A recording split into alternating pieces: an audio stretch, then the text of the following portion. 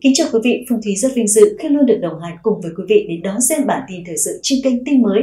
Bản tin cập nhật những tin tức nóng nhất, chính xác nhất về tình hình an ninh trật tự xã hội cùng với những tin tức quốc tế mới nhất đã diễn ra trong ngày và ngay sau đây là những thông tin chính có trong chương trình ngày hôm nay.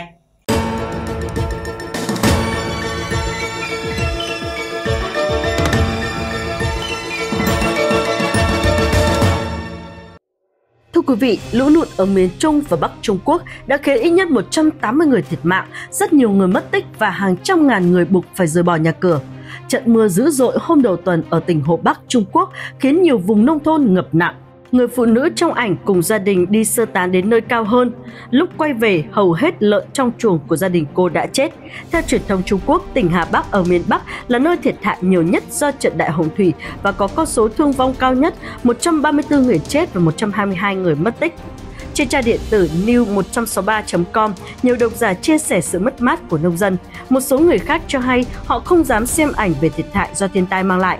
Công chúng đã bất bình khi nhiều người khẳng định giới chức đã không cảnh báo đủ sớm với họ về những trận mưa lớn sắp đến. Theo các quan chức Trung Quốc, những cơn mưa lớn này là thiên tai mới nhất ở Trung Quốc. Đến nay mùa hè nhiều mưa đã làm chết hơn 250 người và hơn 1,9 triệu hecta cây trồng bị hư hại, với thiệt hại lên đến 3,6 tỷ đô la Mỹ. Số người bị ảnh hưởng là trên 9,5 triệu. Thưa quý vị, trong đợt lũ vừa qua, chính quyền Trung Quốc đã bất ngờ xả nước từ hồ chứa mà không báo trước cho dân, khiến hơn ngàn người chết thảm. Trong đợt thiên tai ở Trung Quốc gần đây, tỉnh Phúc Kiến chịu thiệt hại nặng nề nhất hơn trăm người chết trong đợt lũ lụt vào trung tuần đến cuối tháng vừa qua, và tình hình còn thêm trầm trọng khi bão số 3 đổ bộ vào đúng vùng này.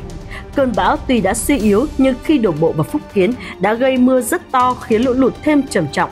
Lo sợ ngập lụt lan rộng, giới chức tỉnh đã cho xả ba hồ chứa nước mà không báo trước vào hôm thứ Hai, khiến cho hơn ngàn người chết thảm dưới dòng lũ ác nghiệt. Phóng viên dẫn lời kể của nhân chứng là dân địa phương hôm thứ Năm.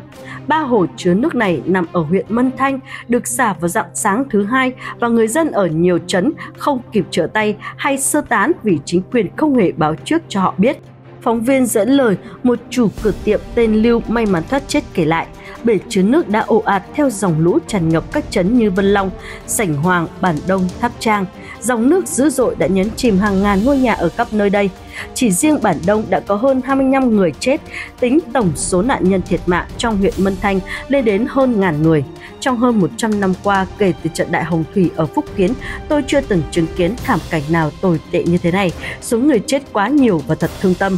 Chính quyền xả nước hồ chứa mà không hề thông báo trước cho bà con. Họ còn cố tình che giấu con số nạn nhân thiệt mạng khi báo đài chỉ đưa tin bão số 3 đổ bộ Phúc Kiến khiến cho 5 người chết, 15 người mất tích. Ông Lưu tiết lộ Ba hồ chứa nước đó lớn khủng khiếp, khi họ xả nước ra thì các vị hãy tưởng tượng nó kinh khủng như thế nào. Chỉ vài phút sau toàn bộ huyện Mân Thành chìm trong nước, hàng ngàn ngôi nhà bị cuốn phăng, mạng người chết đếm không xuể. Chúng tôi mạnh ai nấy chạy, nhà tôi may mắn ở rìa huyện nên đã kịp thời sơ tán để chạy lên vùng đồi gần đó. Mạnh ai người nấy chạy, lũ quét qua đi, khi trở về chúng tôi nhìn thấy thi thể nằm la liệt khắp mọi nơi. Số người chết nhiều nhất là vùng nông thôn gần hồ chứa vì nơi đó rất trũng. Mỗi trấn trong huyện có đến hàng trăm người chết, thi thể nhiều đến nỗi bệnh viện không còn đủ chỗ chứa ở nhà xác.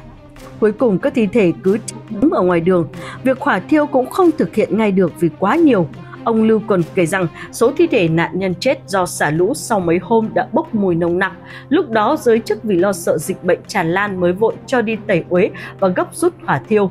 Một phụ nữ họ hứa ở bản Đông Trấn tiết lộ, khi họ xả hồ chứa nước, nhiều người không kịp sơ tán đã bỏ mạng, toàn huyện ngập tràn xác chết rất đáng sợ.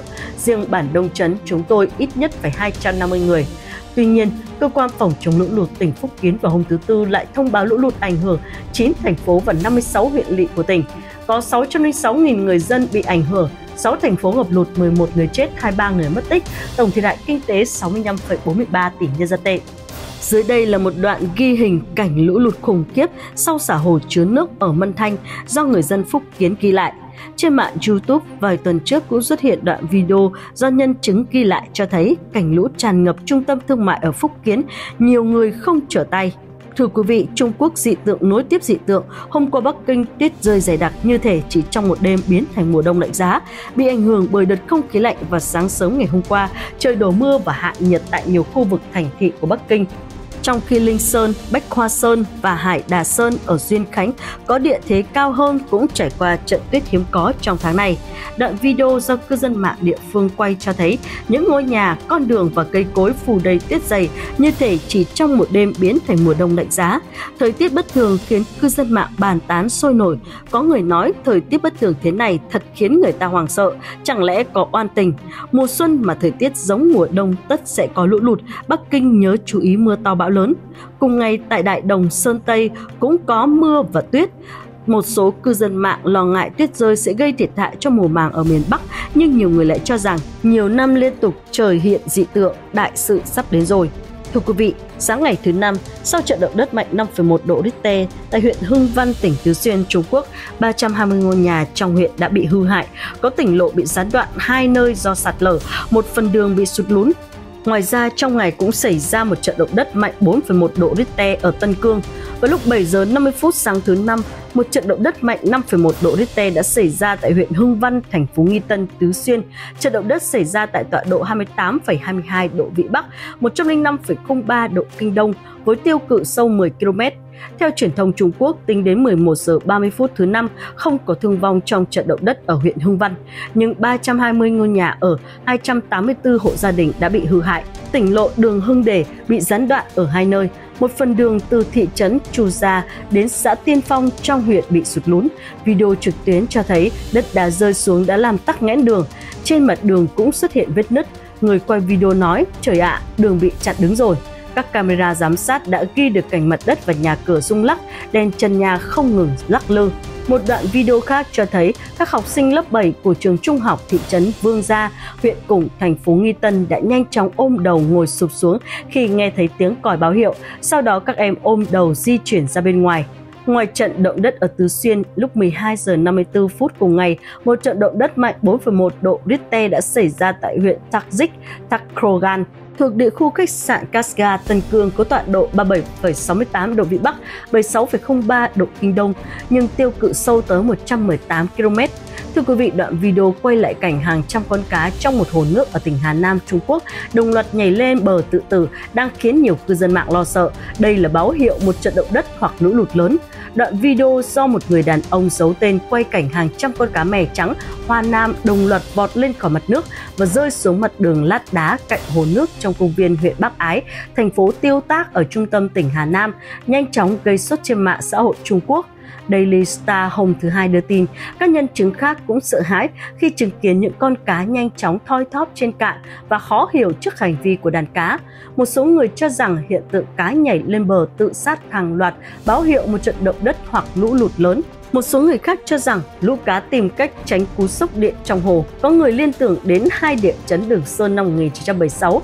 Vài ngày trước khi xảy ra trận thảm họa này, tại ngư trường Bách Cát Trang, cá chấm cỏ thành đàn nhảy lên, có con nhảy cách mặt nước cao hơn một thước trong khi tại ngư trường ở vùng duyên hải cách đường sơn không xa cá đối, cá nheo, cá chẽn nhao nhao nổi lên, trắng dã, rất dễ bắt Tuy nhiên, các quan chức địa phương ngay lập tức đưa ra lý do thúc đẩy đàn cá nhảy lên bờ là tiếng ồn phát ra từ cuộc thi hát tổ chức ở gần đó, khiến đàn cá có phản ứng cực đoan.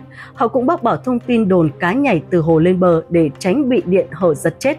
Kính thưa quý vị, trong khi Tổng thống Joe Biden ban bố tình trạng khẩn cấp tại bang Kentucky do mưa lũ, thì Trung Quốc hơn 6.000 người đã phải sơ tán. Trong tháng này đã có hai trận mưa lớn trút xuống thành phố Bàn Cẩm, huyện Lưu Ninh, gây lũ lụt trên diện rộng. Hiện công tác cứu hộ vẫn đang được khẩn trương triển khai. Tình hình thời tiết cực đoan xảy ra tại nhiều nước trên thế giới, từ nắng nóng kỷ lục tại châu Âu đến lũ lụt tại Bangladesh, Iran, Trung Quốc khiến người dân khốn khổ. Chính quyền thành phố Bản Cẩm đã kích hoạt phản ứng kiểm soát lũ khẩn cấp cấp độ 1 và điều 2.680 nhân viên cứu hộ, 320 xe vận chuyển và các phương tiện đến hiện trường. Các công cụ chống lũ lụt như là túi cát và ván gỗ nhanh chóng được đưa tới khu vực. Tổng cộng có 6.393 cư dân được sơ tán an toàn, hiện chưa ghi nhận thương vong do lũ lụt. Công tác cứu hộ đang khẩn trương được triển khai. Cơ quan chức năng tỉnh Liêu Ninh, miền Đông Bắc Trung Quốc cho biết mưa lũ gây ảnh hưởng đến gần 80.000 người ở tỉnh này. Theo cơ quan kiểm soát lũ lụt và giảm nhẹ hạn hán tỉnh Liêu Ninh, mưa lũ còn làm hư hại khoảng 1.700 ha cây trồng, ước tính thiệt hại kinh tế trực tiếp lên đến 13,7 triệu nhân dân tệ, khoảng 1,95 triệu đô. Mực nước tại hơn 10 hồ chứa cỡ trung và gần 20 hồ chứa cỡ nhỏ tại tỉnh Liêu Ninh đã tăng lên trên mức cảnh báo lũ lụt. Hiện những hồ chứa nước này đang phải xả lũ. Các trận mưa như chút nước kéo dài từ mấy ngày nay khiến cơ quan chức năng tỉnh Liêu Ninh phải sơ tán gần 70.000 người trên toàn tỉnh. Vừa qua có hai trận mưa lớn chút xuống sông Rao Giang tại thành phố Bản Cẩm thuộc tỉnh Liêu Ninh đã gây lũ lụt trên diện rộng. Theo Cục Khí tượng và Thủy văn, đây là trận lũ lụt nghiêm trọng nhất từ trước đến nay, đều bị vỡ vào lúc 10 giờ 30 phút giờ địa phương hôm qua cơ quan chức năng Trung Quốc cho biết hơn 6.000 người phải sơ tán sau khi nước sông dâng cao gây vỡ đê tại tỉnh Liêu Ninh. Hy vọng rằng với những chính sách và biện pháp phù hợp, cơ quan chức năng và người dân tỉnh Liêu Ninh, Trung Quốc sớm khắc phục được hậu quả xây dựng lại cuộc sống. Kính thưa quý vị, kể từ tháng trước đến nay, Trung Quốc đã phải vật lộn với loạt thảm họa thời tiết khắc nghiệt. Mới đây, truyền thông Trung Quốc đưa tin gần 20 người thiệt mạng và hơn 40 người khác mất tích sau trận lũ quét kinh hoàng vừa xảy ra tại tỉnh Thanh Hải, miền Tây nước này. Theo đài truyền hình nhà nước Trung Quốc CCTV, những trận mưa lớn và đột ngột đã chút xuống huyện Đại Thông với dân số 433.638 người thuộc tỉnh Thanh Hải. Trận mưa bắt đầu vào chiều thứ Bảy và gây lở đất. Trận lở đất khiến một dòng sông thay đổi, dòng lũ quét đã ảnh hưởng đến một khu vực của hơn 6.000 dân và hơn 1.600 ngôi nhà. Chính quyền địa phương đã cử một đội cứu hộ gồm hơn 2.000 người và hơn 170 phương tiện đến cứu trợ thiên tai. Trong mùa hè này, Trung Quốc đang phải đối mặt với một loạt thảm họa lũ lụt Ngoài ra, nước này cũng phải vật lộn với nắng nóng khắc nghiệt và hạn hán ở nhiều khu vực khác của đất nước. Truyền thông nhà nước đã mô tả đây là đợt nắng nóng và hạn hán tồi tệ nhất trong hơn 60 năm qua. Sông Trường Giang, con sông lớn nhất Trung Quốc và hai hồ nước ngọt lớn nhất nước này cũng ghi nhận mực nước thấp nhất trong 6 thập kỷ.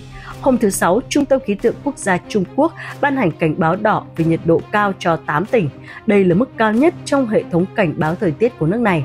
Không chỉ ở Trung Quốc, thời gian qua thế giới đã chứng kiến những trận mưa lũ kỷ lục ở Hàn Quốc, Ấn Độ. Dường như biến đổi khí hậu đang ngày càng hiện hữu rõ ràng ở mọi nơi trên thế giới, tác động tới mọi hoạt động của tự nhiên và con người. Hy vọng chính phủ Trung Quốc sẽ có những biện pháp ứng phó thích hợp và sớm khắc phục hậu quả nặng nề của thiên tai.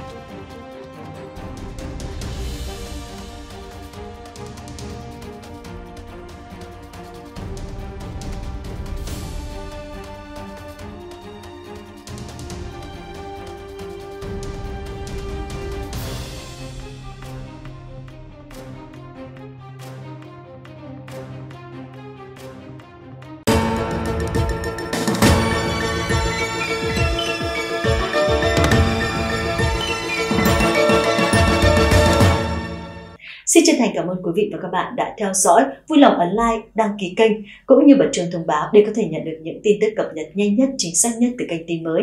Xin chào và hẹn gặp lại ở những video tiếp theo.